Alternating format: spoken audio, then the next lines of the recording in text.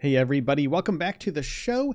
Today, we're going to be talking about Elon Musk. We're going to be talking about SpaceX. We're going to be talking about Starship. We're going to be talking about the IFT 2 launch. And then we're going to be talking about the next launch, the IFT 3 launch, and when that will be.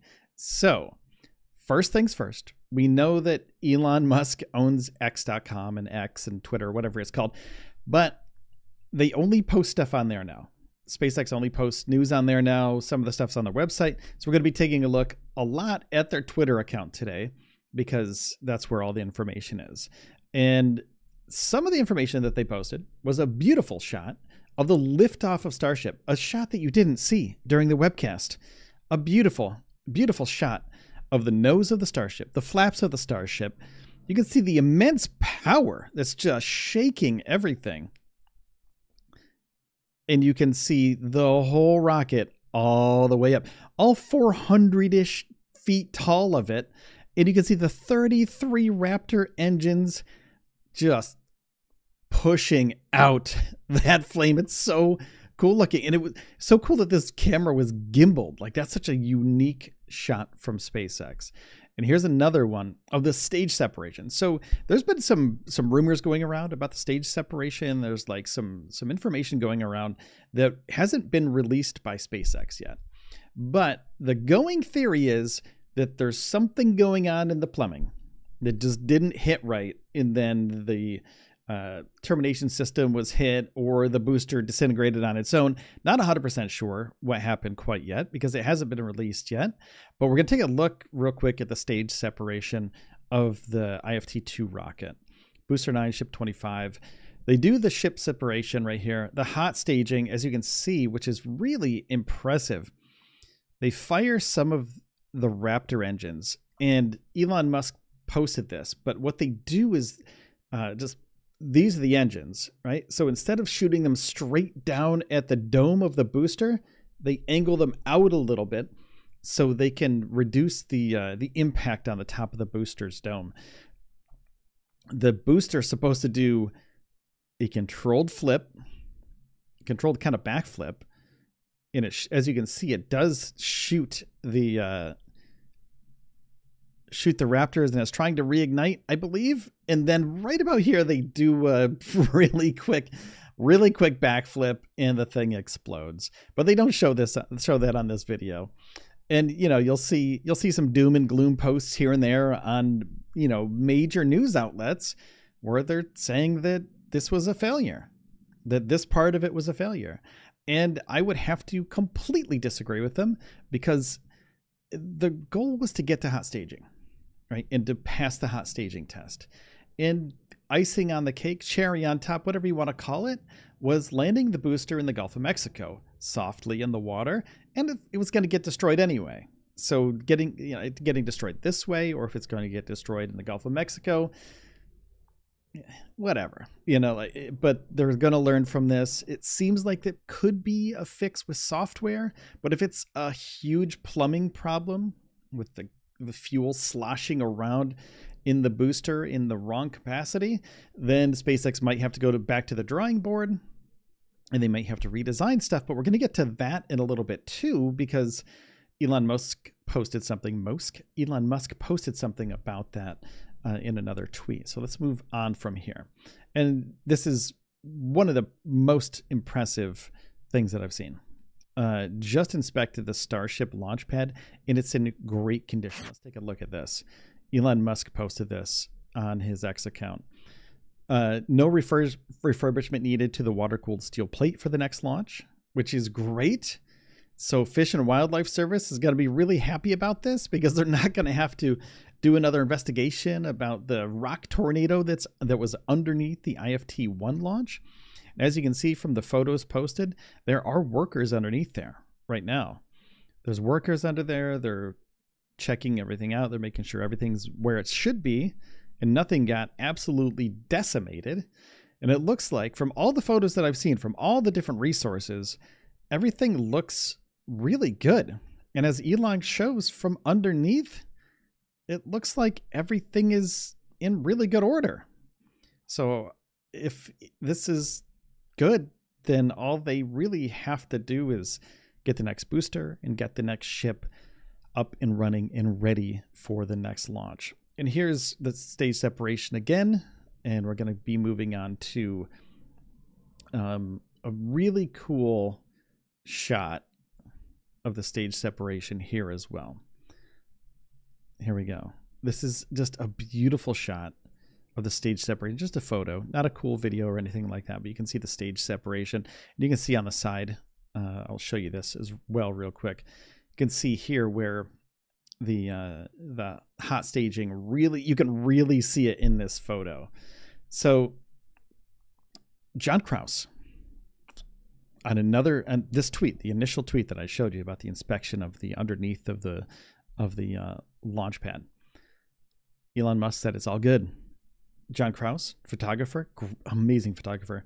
From a technical readiness standpoint, what's feasible timeline for Flight 3? Elon says Starship Flight 3 should be ready to fly in three to four weeks. There are three ships in final production in the high bay, as can be seen from the highway. That was a nice rhyme, Elon. Now, this is important because Elon says three to four weeks, and we know Elon time, three to four weeks could really mean three to four weeks, or it could mean, uh, you know, February of next year. Now, there's, of course, the FAA we have to think about. The FAA is important in this whole procedure because they have to clear them for flight. And what happened downrange with the Starship uh, when that exploded as well, they have to figure out why that exploded. And I'm sure SpaceX knows why by now, but they haven't released anything quite yet. And they have to know exactly how the booster exploded and why it didn't do the flip maneuver. So if Elon is ready in three to four weeks, could we see Christmas ish launch of Starship this year? Or do you think it's going to take a little while for the FAA to approve them? Because the FAA, of course, they're a government body and they take a long time to do anything. So, so it could be like Elon and company could be ready in three to four weeks. Uh, they still have to do static fires. They have to do um, they have to do ground system checkups. They have to fill it up uh, with fuel. They have to do uh, stack it again. There's so many things that they have to do. Same thing they did with IFT one and IFT two, but they have to do it with the IFT three engines uh, you know engines on the boosters. They have to do it on the engines on the ship and make sure that everything works properly make sure all the plumbing is good to go and then they can move forward with the launch. And if they're just sitting on the pad for a while and the uh, you know the fish and wildlife service seems to be all right at this point. It doesn't seem to be any sort of uh, any sort of issue with those uh, with that group but the faa seems to be like it might be the biggest thing that's holding spacex back at this point and SpaceX has to do hundreds of launches, according to Gwynne Shotwell, in order for them to fly people on the Artemis mission, uh, on Artemis 3. And just recently, um, uh, a leader at NASA said that SpaceX may have to do uh, in the multiple, like in the upper teens of launches for the depot.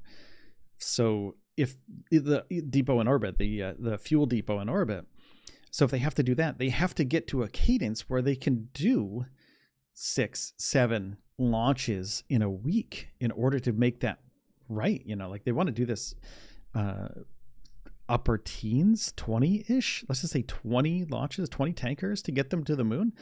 It just seems incredible. Elon has said eight at the most. And of course, we know Elon math. Um, sometimes it works right and sometimes it doesn't work right. So you know his his estimates are fairly well under what things actually normally happen, you know? So we could see something a little bit different. But they do have to have the cadence go crazy in the next six months. So I'm assuming these first three flights are going to be so important for SpaceX to get them better every time.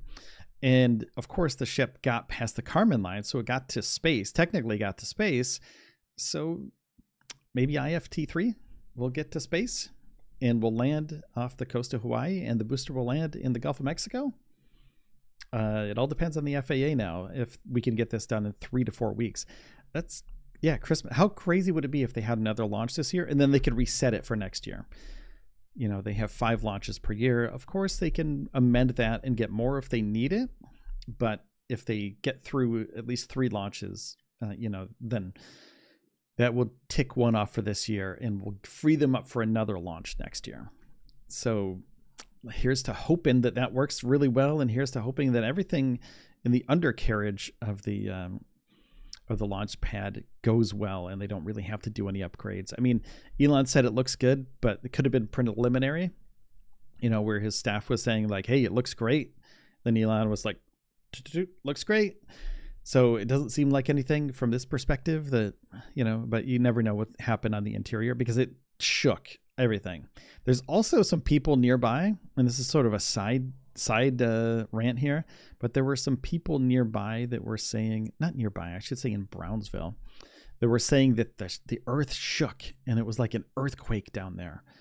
And, you know, as much as I would like to, um, I would like to believe them, I don't know if this has enough power to shake Brownsville. It's a 30 minute drive from Brownsville, like a 20 minute drive from Brownsville. I know it's powerful, um, but maybe they're feeling the shockwave from the launch. Uh, maybe they weren't actually feeling the shockwave on the ground, but maybe the air turbulence, uh, that shockwave. I don't know. I don't know what it's the rumble. Maybe maybe they're feeling the rumble in their chest. I don't know what it was, but uh, that's a whole other story. That's a whole other time. we'll have to get into that at some other time. So I want to say thank you so much for listening today and watching today. If you have a second, please hit the subscribe or follow button on whatever uh, platform you're on right now. Helps out the show tremendously.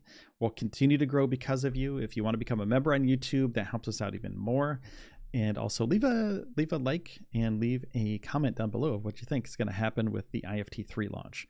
All right, take care, everybody. I will see you next time on Space News Pod. All right, bye bye.